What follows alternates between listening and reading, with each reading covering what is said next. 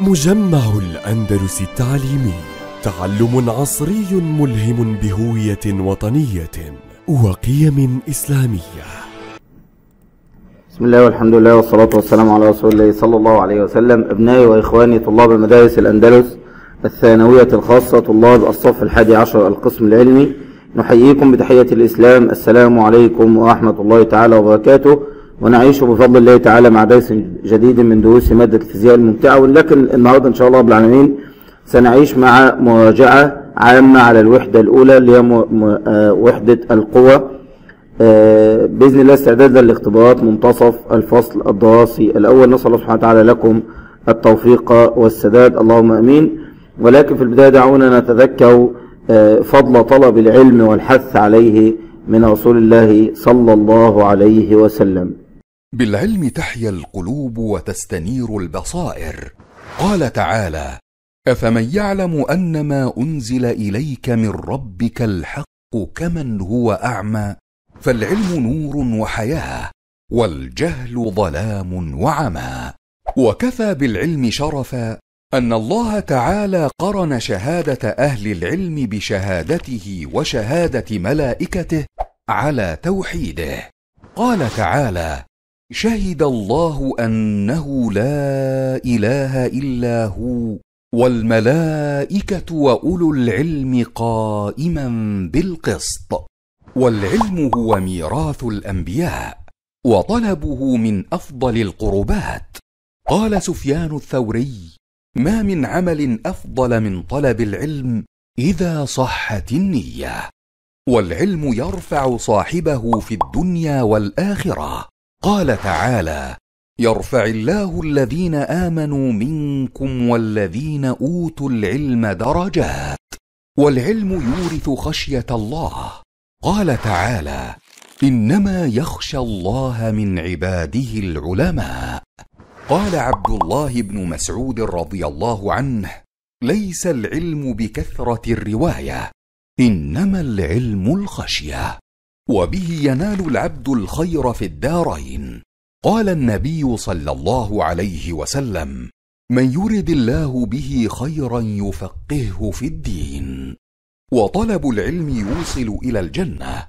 قال رسول الله صلى الله عليه وسلم من سلك طريقا يلتمس فيه علما سهل الله له به طريقا إلى الجنة.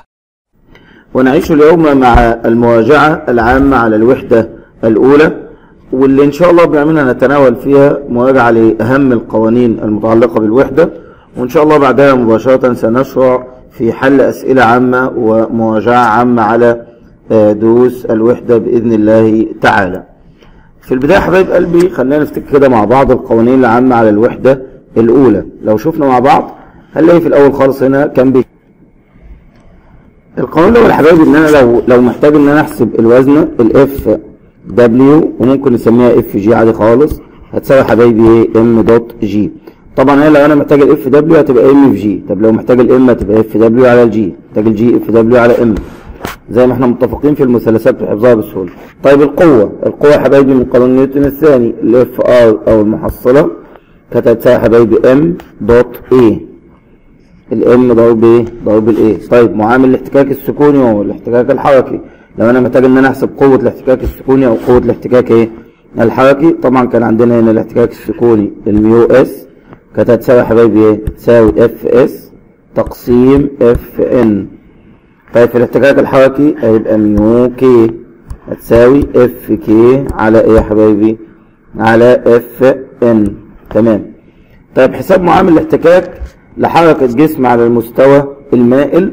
لو أنا عايز أجيب هنا كده معامل الاحتكاك اللي هو ال mu k بشكل بسيط خالص كنت ممكن أقول هو Fk على FN مع تحليل القوى ال Fk هتساوي mg ها sine theta على mg cosine theta اللي هي في النهاية ممكن نجيبها ببساطة عن طريق tan theta مباشرة.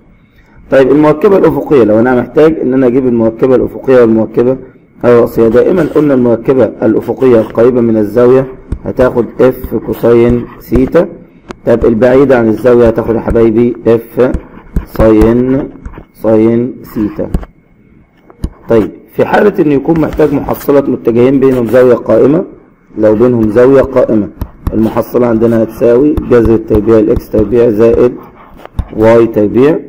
طب زاوية المحصلة واتجاهها الثيتا بتساوي تساوي tan minus 1 Y على X طيب عزم القوة حبايب قلبي لو أنا محتاج إن أنا أحسب عزم القوة عزم القوة اللي بنسميه tau كان يساوي حبايبي F dot R dot sine theta أخيرا عزم الإزدواج ال tau couple لو أنا محتاج إن أنا أحسب ال tau couple يا حبايبي هيساوي إيه؟ هيساوي F dot R dot sine theta كذلك يعني إحدى القوتين في المسافة بينهما. تقول لي يا أستاذ طب لو أنا اتعاملت إنه F ضرب ال آه كلامك صحيح مفيش أي مشكلة خالص. بس في حالة إن الزاوية اللي عندك يكون تكون عمودية. طيب نبدأ كده في حل مسائل بالتدريج يا حبايبي بالتدريج من بداية من بداية المنهج. لو قال لي في البداية أوجد محصلة القوتين المؤثرتين على جسم. F1 200 نيوتن F2 50 نيوتن. لاحظ إن القوة الأولى كام يا حبايبي 200 والثانية 50 يبقى الفرق بينهم لأن دي قوة بتأثر إلى اليمين ودي قوة بتأثر إلى اليسار. أهو دي قوة يمينا ودي يسارا. يبقى القوة المحصلة عندنا حبايبي هتساوي 200 ناقص 50 تطلع كام؟ تطلع 150 نيوتن. وطبعا الاتجاه بتاعها يكون اتجاه يمينا. طب لو قال لي مؤثر يؤثر في الأجسام فيغير شكلها أو حالاتها الحركية. طبعا ده تعريف مين؟ ده تعريف القوة. ده تعريف حبايبي إيه؟ القوة.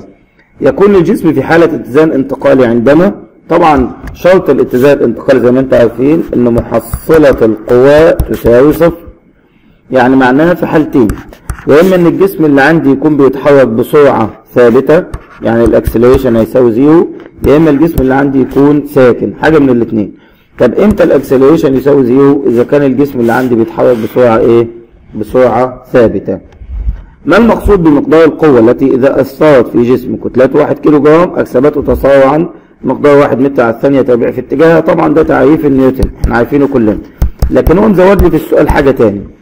بيقول لي هنا كده النيوتن ويكافئ كيلو جرام في متر على الثانية تربيع ولا النيوتن ويكافئ كيلو جرام ضرب متر في الثانية تربيع طبعا التعريف الأدق اللي هو مين يا حبايب قلبي؟ أو الصحيح اللي هو النيوتن يكافئ كيلو جرام ضرب متر على الثانية تربيع تقول لي جبناه منين يا أستاذ؟ أقول لك أهو بسهولة خالص مش عند ال FR بيساوي M dot A شيل ال M وعوض بوحدة قياسها كيلو جرام شيل ال A وعوض بوحدة قياسها متر لكل ثانية تربيع نكمل. ما المقصود بالعبارة التالية؟ القوة التي تجذب بها الأرض الأجسام. مين يا حبايبي؟ الوزن الويت ولا الفورس امبيلس ولا الانشاء الانشاء اللي هو يا حبايبي اللي هو يكون طبعا إيه؟ الوزن.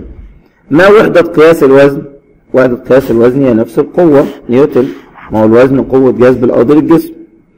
ما محصلة القوى المؤثرة في كرة كتلتها نص كيلو جرام. تسقط تحت تأثير وزنها وتتعرض لمقاومة هواء بمقدار 3 نيوتن لأعلى. علما بأن عجلة الجاذبية الأرضية 9.8 من 10 متر على الثانية تربيع. أنا دلوقتي حبايبي عندي كرة بتسقط وعندنا في مقاومة هواء أعلى مقاومة الهواء قال لي 3 نيوتن. طب الكرة نفسها هي نص كيلو جرام. يبقى اهي دي كده نص كيلو جرام لابد إن أنا أجيب الوزن طب أجيب المحصلة إزاي؟ اللي هي تساوي ال FW ناقص ال F friction الاحتكاك اللي عندي. ده يديني ال FR اللي هي المحصلة. طيب ال FW بكام؟ تبقى نص اللي هي ال MG نص ضرب 9.8 من 10 ناقص ال F friction كام يا حبايبي؟ اللي هي 3 لو طرحناهم من بعض يا حبايبي يدينا واحد تسعة من عشرة. بس الاتجاه هيكون إلى أسفل ولا إلى أعلى؟ هيكون في الاتجاه الأكبر وبالتالي حركة الكرة هتكون إلى أسفل اتجاه الجاذبية الأرضية. جسم على كوكب الأرض كتلته 40 كيلو جرام في أي من الكواكب التالية يكون لهذا الجسم وزن أقل؟ واستخدم المعلومات الموجودة في الجدول. هنا جايب لي حبايبي عطارد المشتري الأرض المريخ. الجسم ده كان على كوكب الأرض كتلته كام 40 كيلو جرام. هل الكتلة هتختلف؟ لا الكتلة مش هتختلف ولكن الوزن اللي هيختلف. والوزن يتناسب تناسبا طرديا مع عجلة الجاذبية الأرضية لأن الوزن FW بيساوي M dot G يبقى بالتالي أقل عجلة جاذبية هي أقل وزن. التناسب تناسب ما بين الاف دبليو وما بين الجي تناسب طردي. يبقى أقل واحد فيهم هيكون مين؟ عطارد وهو الأقل في في الوزن. أن المشتري 24 8 من 10 والأرض كان 9 8 من 10 المريخ 3.77 يبقى عطارد هو أقل واحد وبالتالي هو أقل وزنا على كوكب عطارد يوضح الشكل كرتين معلقتين بواسطة ميزانين لقياس القوة في حالة اتزان. إذا علمت أن كتلة الكرة الأولى 3 كيلو جرام دي الكرة الأولى حبايبين. دي الكرة اللي عندي الكرة الأولى. M1 وكتلة الكرة الثانية 1 كيلو جرام يعني دي يا حبايبي اللي هي مين؟ اللي هي M2 طيب طالب مني يا حبايبي طالب مني إن أنت تجيب قراءة الميزان الأول. مش الميزان الثاني قراءة الميزان الأول. الميزان الأول يا حبايبي ده هيتعرض لمين؟ هيوزن كده M واحد ولا M واحد كمان مع M اتنين مع إهمال كتلة الميزان الثاني مع إهمال كتلة الميزان الثاني. طبعا في الحالة دي حبايبي الميزان الأول هيوزن الكتلتين يعني هيوزن M واحد G زائد M 2 جي ليه يا أستاذ؟ لأن هنا في حاجتين بيأثروا إلى أسفل. الكتلة دي إلى أسفل وكمان الكتلة دي إلى أسفل وهيكون رد الفعل عكسها اللي هو هيقيسه الميزان. يبقى الميزان هيقيس وزن الكتلتين مع بعض m 1 g زائد m 2 g لو خدنا ال g عامل مشترك يبقى يطلع حبايب قلبي 4 ضرب كام ضرب 9 و8 من 10 تطلع حبايبي 39 و2 من 10 نيوتن لكن لو في حالة انه طلب مني قراءة الميزان الثاني ده هيوزن بس فقط الكتلة 1 كيلو جرام هي الحاجة الوحيدة اللي بتأثر عليه إلى أسفل أي مما يلي من الأجسام الموضوعة على سطح أفقي لها أكبر قيمة للقوة العمودية FN. طبعا كل ما بيزيد الوزن كل ما بتزيد القوة العمودية. يبقى بالتالي هل ال 2 كيلو جرام اللي هتدي وزن أكبر ولا ال 5 كيلو جرام ولا 15 كيلو جرام ولا 25 كيلو جرام؟ طبعا بلا شك ال 25 كيلو جرام هي اللي هتديني وزن أكبر أهو تديني وزن إلى أسفل FW عكسها قوة رد الفعل اللي هي ال FN طبعا 25 كيلو جرام هي اللي هتدي أكبر وزن وهي اللي هينتج عنها أكبر قوة رد فعل. طيب بيقول لي حبايبي جسم كتلته 100 كيلو جرام على الأرض. احسب كل من وزن الجسم على الأرض. علما بأن عجلة الجاذبية الأرضية 9.8 متر على الثانية تربيع طبعا الوزن بيختلف من مكان لآخر حسب الجاذبية. لكن الكتلة ثابتة. يعني كتلتك على الأرض 100 كيلو جرام على القمر 100 كيلو جرام على المريخ 100 كيلو جرام في أي مكان. لن تختلف. لكن وزنك لأ يختلف. يبقى ال FW في الحالة دي هيساوي حبايبي m dot g يبقى هيساوي كام؟ هيساوي 100 ضرب 9 وثمانية من 10 يساوي حبايبي كام؟ 980 نيوتن. طيب وزن الجسم على القمر علما بأن عجلة الجاذبية 6 من 10 يبقى في الحالة دي ده الوزن الأول على الأرض الوزن الثاني على القمر. هيبقى برضه m dot g بس في الحالة دي بقى ال ال الجي اختلفت. هتبقى جي 2 تمام. يبقى 100 ضرب 1 6 من 10 تطلع حبايبي كام؟ 160 نيوتن. تمام. يبقى الكتلة ثابتة في كل مكان ولكن الوزن يا حبايبي هو اللي بيختلف من مكان إلى آخر. يعني لو سألني هنا كده على الكتلة أقول له والله كتلتي ثابتة كتلتي 100 كيلو جرام زي ما هي. لكن وزني أخلي بالي الوزن بتاعي على حسب المكان اللي هو عايزه. عايز وزن على الأرض أضرب في عجلة الجاذبية على الأرض. عايز وزن على القمر أضرب في عجلة الجاذبية على القمر. وزن على المريخ يبقى أجيب عجلة الجاذبية بتاع المريخ وهكذا. طيب اذكر العوامل التي تعتمد عليها شدة مجال الجاذبية. طبعا بتعتمد على عاملين أساسيين. شدة مجال الجاذبية اللي هي الجي طبعا بتعتمد على مين؟ على كتلة المصدر اللي هو كتلة الكوكب. وكمان بتعتمد على نصف قطر المصدر اللي إحنا ممكن نعبر عنه بحجم الكوكب. يبقى حجم الكوكب. تقول لو كده حبيت اكتب نصف قطر الكوكب صح. مش مشكلة خالص. نصف قطر الكوكب اللي منه يا حبايبي هيتوقف إيه؟ وإن شاء الله في في الصف الثالث هتتعرفوا باستفاضة في الثاني عشر على إزاي نقدر نحسب شدة مجال الجاذبية ونحدد العوامل اللي إن شاء الله تاخدوها مع مع بعض في في الصف الثاني عشر ال g بتساوي عندنا ال G M على R تربيع وباذن الله تاخدوها بإذن الله وتسعدوا بها إن شاء الله في منهاج الصف الثاني عشر. لو قال لي سؤال تاني اخر يا حبايبي يقوم حمد بالضغط على صندوق بقوة قدرها 50 نيوتن والصندوق موجود على منضدة. وكتلة الصندوق وكتلة الصندوق 25 كيلو جرام ارسم مخطط الجسم الحر. تقول له والله أهو ادي عندي هنا كده ادي الصندوق. الصندوق ده محطوط فين؟ محطوط على منضدة. وكتلة الصندوق 25 كيلو جرام وكمان حمد بيضغط على الصندوق بقوة 50 نيوتن. اولا كده الصندوق بيتأثر بالوزن إلى أسفل الوزن بتاعه اللي هو 25 ضرب عجلة الجاذبية الأرضية. تمام؟ وكمان بيتأثر بقوة تانية قوة الضغط بتاع حمد اللي هي كام يا حبايبي؟ اللي هي 50 نيوتن. عكسها في قوتين. عكسها؟ كده دول قوتين. عكسها في قوة رد الفعل. FN net force أو ال normal force اتجاه بيكون يا حبايبي اتجاه إلى أعلى. وده مخطط الجسم إيه؟ الجسم الحر بسهولة جدا جدا. طيب ما محصلة القوى المؤثرة في الصندوق؟ الصندوق اللي عندي ده موجود على المنضدة. حتى مع ضغط حمد عليه هو مازال موجود على المنضدة. وبالتالي محصلة القوة في الحالة دي حبايبي هتساوي إيه؟ هتساوي صفر. ال FR هتساوي zero. طب لو قال لي هات مقدار القوة العمودية المؤثرة على الصندوق هو عايز ال FN في الحالة دي ال FN هتساوي إيه؟ هتساوي ال FW زائد ها زائد ال 50 نيوتن. طيب ال FW اللي عندي اللي هي كتلة الصندوق ضرب عجلة الجاذبية الأرضية. 25 ضرب 9.8 من عشرة زائد كام يا حبايبي؟ زائد 50 ونطلع الناتج النهائي لمحصلة ال- القوة اللي هي القوة العمودية. 25 ضرب 9.8 من عشرة يدينا 245 زائد 50 يا حبايبي يدينا كام؟ 295 نيوتن وده كده مقدار القوة العمودية الاتجاه طبعا هيكون إلى أعلى. ما مقدار القوة التي تجعل سيارة كتلتها؟ هو عايز القوة يعني عايز ال F. طب والسيارة دي كتلتها كام؟ كتلتها 2000 يعني m. تتباطأ تتباطأ بمقدار 3 متر على الثانية تربيع. ده اللي هو ال acceleration التسارع بس خلي بالك تتباطأ يبقى لازم أخده بالسالب. عندما تقترب من إشارة المرور لتتوقف تماما. التطبيق مباشر في قانون محصلة القوى قانون نيوتن الثاني. ال FR يا حبايبي هيساوي m dot a ال m عندي بكام يا حبايبي؟ ب 2000 ضرب سالب 3 تطلع حبايبي كام؟ سالب 6000 نيوتن طيب سؤال بعديه حبايبي في التناسب في القوى تناسبات القوانين بشكل عام. إذا زادت كتلة الجسم إلى أربعة أمثال ما كانت عليه. يعني مثلا الكتلة كانت 100 كيلو جرام أصبحت 400 كيلو جرام كم يصبح تسارع الجاذبية الأرضية؟ وكم يصبح الوزن؟ الوزن الجديد كام؟ والتسارع كام خلي بالك. التسارع اللي هو ال acceleration. إحنا لسه قايلين التسارع من شوية بيتوقف على إيه؟ وعلى إيه؟ على كتلة الكوكب وعلى حجم الكوكب ونصف قطره يعني لا يتوقف على كتلة الجسم. وبالتالي ال acceleration أو تسارع الجاذبية الأرضية عندنا الجي هيظل كما هو.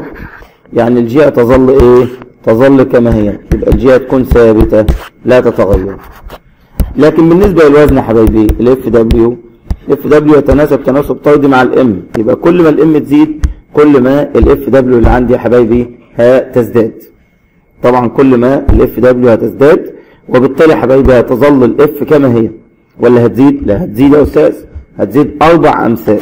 يبقى القوة أو الوزن هتزيد إلى إيه؟ إلى أربعة طيب بيقول لي الحبايب في سؤال جديد ما المصطلح العلمي الدال على الآتي؟ مقياس الاحتكاك الداخلي بين طبقات المائع خلال جريانه وتعمل على إبطاء تدفقه.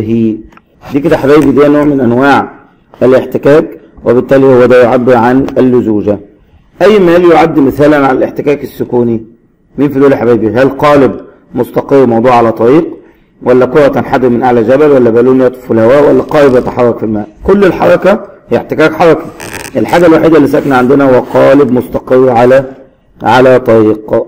طيب. في المقبار ألقيت أو في الشكل الآتي في المخابئ اللي أمامنا حبايبي المقبار اللي أمامنا أو في القوارير اللي أمامنا. ألقيت أربع كرات متماثلة في أربع أواني بها سوائل مختلفة. أي الكرات تصل أبطأ لقاع المخبار. طبعا هتصل أبطأ في الأعلى كثافة وهو العسل. وهو يا حبايبي إيه؟ العسل. يتم سحب صندوق وزنه 200 نيوتن على أرض خشنة إذا علمت أن قوة الاحتكاك المؤثرة في 50 نيوتن ما معامل الاحتكاك طبعا في الحالة دي يا حبايبي معامل الاحتكاك mu k هيساوي ها F k على F n يبقى هيساوي 50 على كام يا حبايبي؟ على 200 تطلع كام؟ تطلع ربع طب هل ربع اللي عندك هتكون ربع نيوتن؟ لا طبعا معامل الاحتكاك ليس له وحدة ليس له وحدة إيه؟ قياس أي مواد تالية لها أعلى معامل احتكاك سكوني. طبعا أعلى معامل احتكاك سكوني هو المطاط مع الخرسانة الجافة. قد يصل إلى الواحد أي العو... يعني لا يتحرك الجسم أبدا. معامل احتكاك سكوني عالي جدا. أي العوامل التالية تؤثر في الاحتكاك الحركي لصندوق ينزلق فوق سطح أفقي. اللي يأثر عليه إيه؟ هل يأثر عليه القوة العمودية ولا سرعة الصندوق ولا القوة التي تسبب الحركة؟ ولا المساحة السطحية للصندوق؟ طبعا الأصل إن اللي بيأثر في الاحتكاك القوة من حبايبي؟ القوة العمودية. طبعا القانون. درجة بخارية تتحرك تحت تأثير دفع محرك بقوة مقدار 2000 نيوتن ما مقدار القوة المعيقة لحركة الدراجة البخارية طبعا هي ماشية للأمام ب 2000 يبقى يعيقها الاحتكاك للخلف وبالتالي هيكون إشارة إشارة سالبة ونفس القيمة سالب 2000 نيوتن. ماذا يحدث لكل من كتلة الجسم ووزنه عند الانتقال به من كوكب لآخر؟ أما ينتقل من كوكب لآخر الكتلة تظل كما هي ولكن اللي يتغير حبايبي يتغير مين؟ يتغير الوزن فقط. تظل الكتلة ثابتة ويتغير الوزن فقط.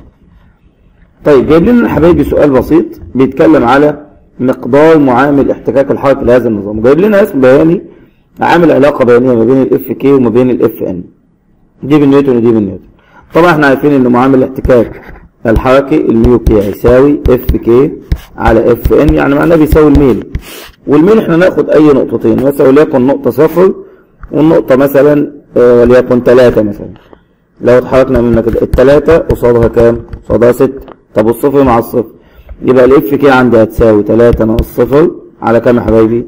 على 6 ناقص صفر يعني هتطلع إيه؟ 0.5 وزي ما اتفقنا ان معامل الاحتكاك سواء الحركة أو السكون ليس له وحدة قياس. بيقول إذا كانت قوة الاحتكاك بتساوي واحد ونص فما مقدار القوة العمودية طبعا إحنا مش محتاجينها من قانون ده إحنا محتاجينها من الرسم يا حبايبي. واحد ونص عندنا يعني أبدأ أشوف كده قدامي أهو أجي داخل على الواحد ونص أهي ننزل تحت فيدينا ما بين الاثنين والثلاثة يبقى معناها في الحالة دي الاف ان هتساوي كام يا حبايبي؟ هتساوي 3 نيوتن بس هو عايزها من الرسم البياني. طيب إذا أصبحت إذا أصبحت القوة إذا أصبحت القوة العمودية اف ان تساوي 3 أمثال مقدارها. يعني القوة العمودية كانت مثلا 10 بقت 30. فهل تصبح القوة المؤثرة ثلاثة أمثال مقدار الأصلي أيضا عشان عشان تحافظ على حركة الجسم بصورة منتظمة؟ طبعا. لابد إن هي إيه لابد إن هي تتناسب مع حبايبي تناسب طردي يبقى تحتاج إن أنت تتحرك بنفس بنفس المقدار من جديد نفس القوة المؤثرة بالنسبة لك طيب بيقول لي هل القوة المؤثرة والقوة العمودية تؤثران في الاتجاه نفسه ولماذا؟ القوة المؤثرة بتأثر إزاي؟ أنت بتتحرك يمين أو شمال على حسب الحركة بتاعتك. طب القوة العمودية لا يعلى ولا اسفل يبقى هل تؤثران في الاتجاه نفسه؟ طبعا لا. هما متعامدان. قوتان يا حبايبي إيه؟ متعامدان. واضحة؟ انتقل للسؤال الآخر يا حبايبي. بيقول لي اكتب المصطلح العلمي.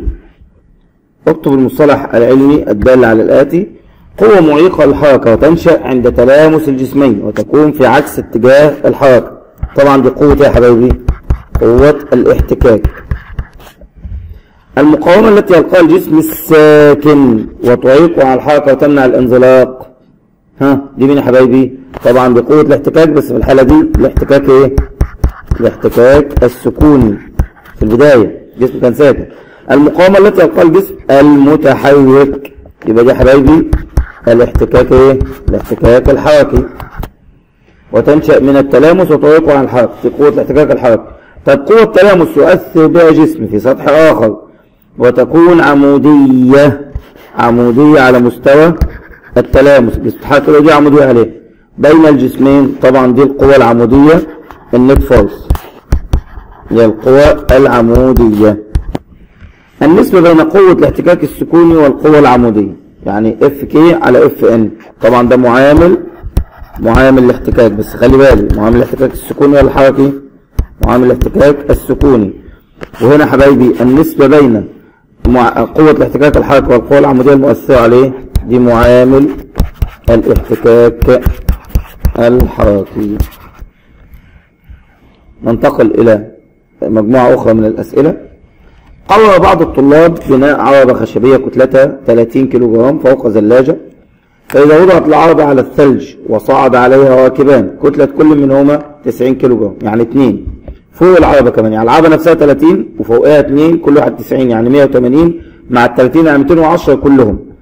فما مقدار القوة التي يجب أن يسحب بها شخص العربة لكي تبدأ في الحركة؟ واعتبر معامل الاحتكاك السكوني بين العربة والثلج 0.15 نقول طبعا هنا حبايبي الكتلة كلها زي ما اتفقنا هو 90 زائد 90 زائد 30 أو العربة هنا. فيها واحد راكب هنا 90 وكمان ده 90 وكتلة العربة نفسها كمان 30 يعني ال m الكلية عندنا تبقى 90 زائد 90 زائد 30 يعني 210 كيلو جرام الكتلة دي تقول لي ليه يا أستاذ؟ هقدر أحسب منها ال F n القوة العمودية.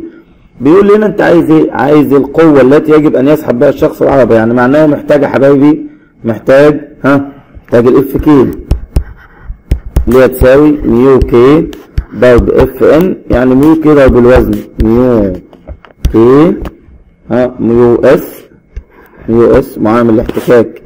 السكوني ضرب يا حبايبي مين؟ ضرب ال F n اللي هي ضرب ال m g طيب ال mu s اعطاني بكام؟ ب 0.15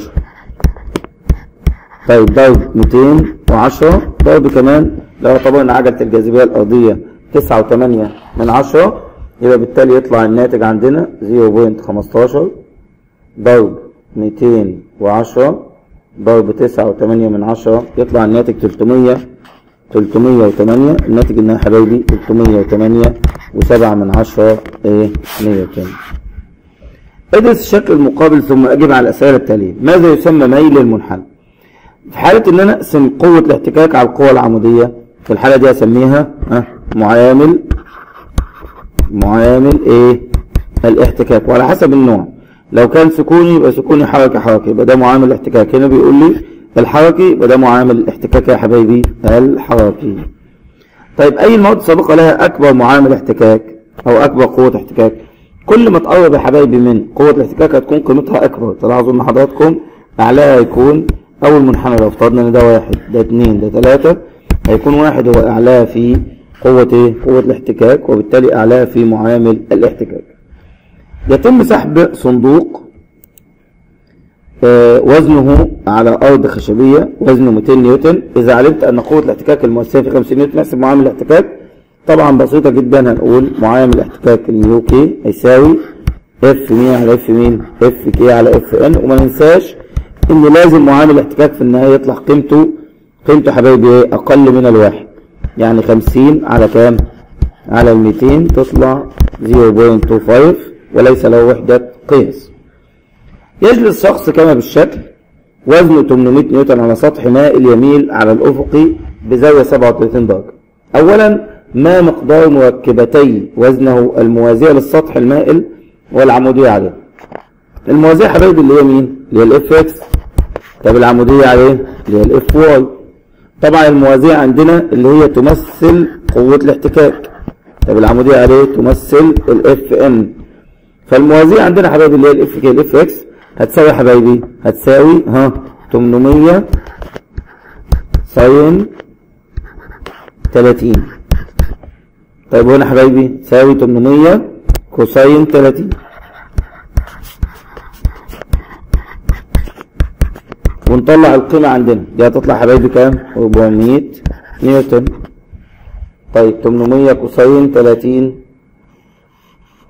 هتساوي حبايبي 692 point 8 طب لو قال لي في الاختبار أو طلب مني إن أحسب ال mu k معامل الاحتكاك إيه؟ الحركي. نعمل إيه يا حبايبي؟ زي ما اتفقنا إحنا بنقسم F k على F n يعني يعتبر الطبيعي عندنا هنقسم كام؟ 400 تقسيم 692.8 يطلع الناتج حبايبي 0.577 في حل تاني؟ آه في حل تاني أسهل. إحنا ممكن نجيب يا حبايبي tan 37 هيدينا نفس الناتج. يبقى ممكن يا حبايبي برضه نجيب إيه؟ نجيب تان 37 ويدينا يا حبايبي نفس نفس النتيجة. طيب ننتقل إلى درس آخر. وهو درس حبايبي محصله المتجهات وتحليل المتجه إلى مركبتين يسحب رجل صندوقا على أرض أفقية وسط قوة تميل بزاوية ثيتا مع الافقي كم تكون قيمة الزاوية التي تجعل المركبتان الأفقية والراسيه للقوه لهم المقدار نفسه. طبعا الاثنين بيكونوا متساويين إمتى؟ إذا كانت الزاوية اللي عندي كام يا حبايبي 45 درجة. لأن sine theta و cosine theta بيكون لها نفس القيمة.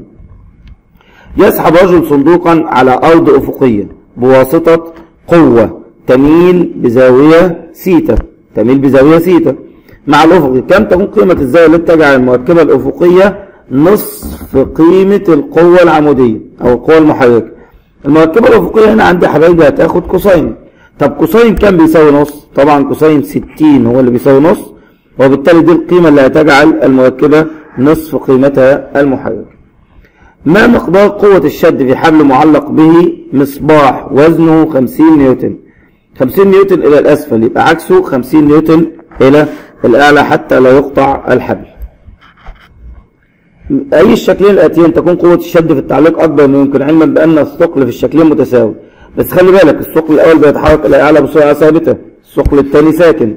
يبقى بالتالي طبعا هتكون ال ال القوة الأعلى قوة الشد الأعلى هتكون في الشكل رقم واحد.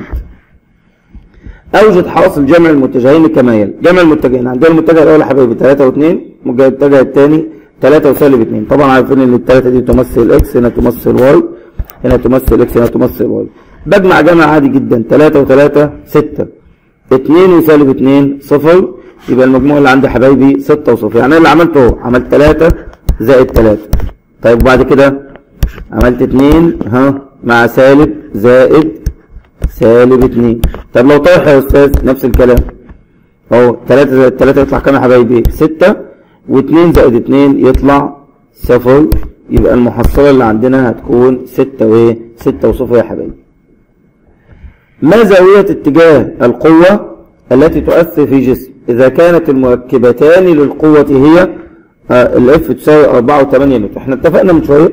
وإحنا بنكتب القوانين إن محصلة المتجهات على جسم أنا بحدد لها حاجتين بحدد القيمة وبحدد كمان الاتجاه. القيمة عندنا نجيبها زي ما اتفقنا اللي هو إيه؟ المحصلة تربيع ل x تربيع زائد y تربيع الجذر التربيع لكن لو عايز أجيب الزاوية دي هتساوي يا حبايبي إيه؟ هتساوي tan minus 1 y على x. تقول لي ده فين y وفين x يا أستاذ؟ لسه قايلين. الأربعة تمثل ال x والثمانية تمثل ال y يبقى tan minus 1 ال y عندي بكام؟ ب 8 على ال x كام يا حبايبي؟ على 4 يعني tan minus 1 ل 2 وتشوف كده حضرتك على الآلة الحاسبة يطلع الناتج بشكل مباشر. طب نجيب ال tan إزاي؟ نضغط على shift tan. شيفت تان. 2 تطلع إزاي يا حبايبي؟ 63.4 ما مقدار قوة رد الفعل على الصندوق عندما يتم سحبه؟ إلى أعلى بقوة 100 نيوتن. حلينا واحدة زيها من شوية. إحنا عندنا ده 30 كيلو جرام بنسحبه إلى الأعلى دون أن يتم تحريره. يعني أنا حبايبي هنا دي قوة رد الفعل. طب نشوف كده نحلل نحلل القوة نرسم مخطط الجسم الحر ده 30 إلى أسفل اللي هي 30 كيلو جرام طب إلى أعلى في حاجتين في قوة رد الفعل وفي كمان القوة اللي بتسحب عندنا اللي هي ال 100 نيوتن. يبقى معناها ال F W هتساوي 100 نيوتن زائد قوة رد الفعل. يبقى قوة رد الفعل بس هتساوي حبايبي هتساوي ال F W ناقص ال 100 تطرحهم من بعض. يبقى ال F W عندي كام؟ 30 في 9.8 من 10 ناقص 100 30 ضرب كام يا حبايبي؟ ضرب 9.8 من 10 ناقص ال 100 يطلع الناتج يا حبايبي 194 نيوتن ودي تمثل مقدار القوة آه العمودية. كم تبلغ محصلة متجهان متعامدان؟ قيمة الأول x وقيمة الثاني ضعف قيمة الأول. طبعا إحنا المحصلة زي ما اتفقنا هتساوي ال R هتساوي جذر التربيع ال x تربيع زائد y تربيع. طيب المتجه الأول بيقول لي إكس يعني إكس تربيع زائد المتجه الثاني ضعف قيمة الأول يعني 2 إكس 2 إكس بالنسبة لنا مع مع التربيع يعني تطلع ها تطلع حبايبي إيه؟ 4 إكس إكس تربيع لأن التاني ضعف الأول. التاني ضعف الأول. طب كده لو جمعنا إكس تربيع مع 4 إكس تطلع كام؟ تطلع 5 x تربيع. نطلع الخمسة بره الجذر ولا نخليها الإكس اللي ينفع تطلع بره الجذر يبقى يطلع الناتج يا حبايبي إكس جذر كام؟ جذر الخمسة الإجابة الأخيرة.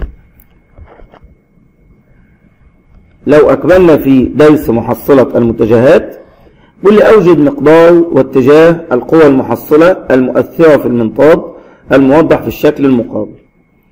بسهولة جدا لابد إن أنا أجيب محصلة القوى في الاتجاه x ونجيب محصلة القوة في اتجاه y وبعد كده نجيب المحصلة الكلية.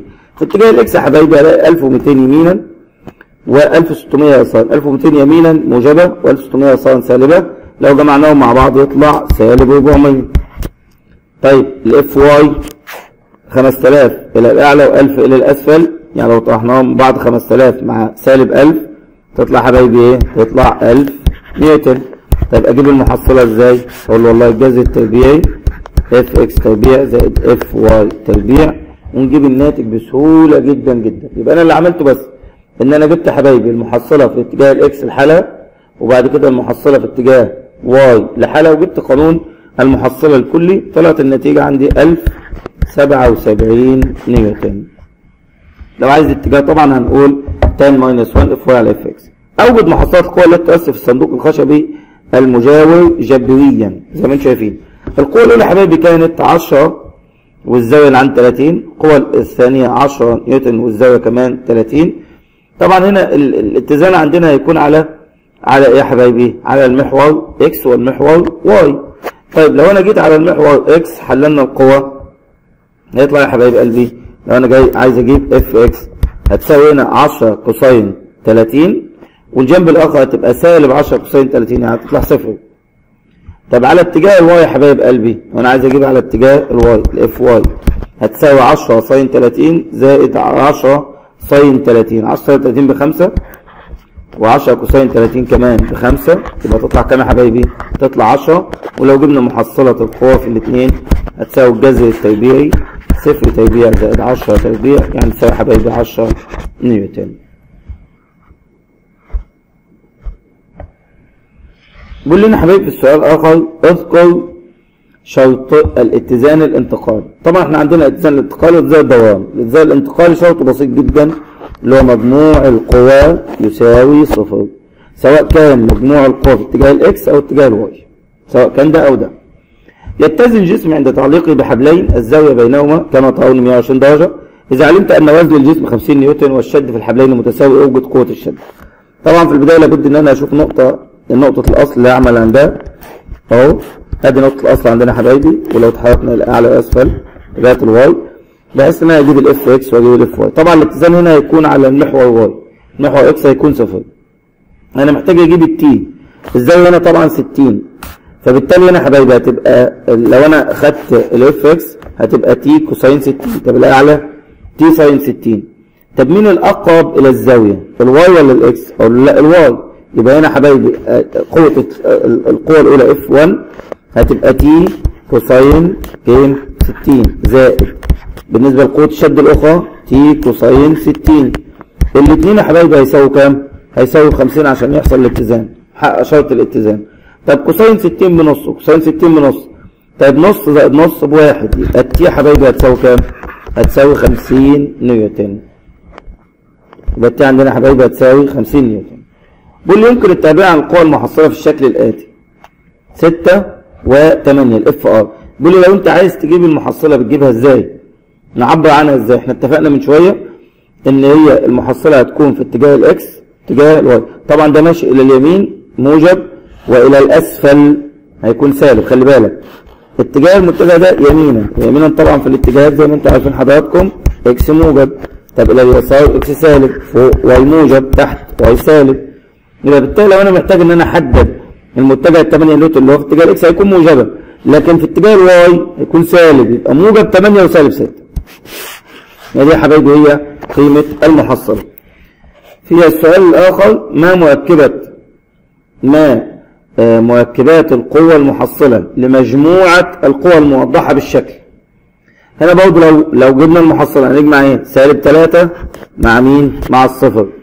سالب 3 زائد صفر. طيب. طب وبعد كده بالنسبة لاتجاه الواي صفر زائد سالب 4 يبقى دي كده أنا جبت يا حبايبي المحصلة كاملة.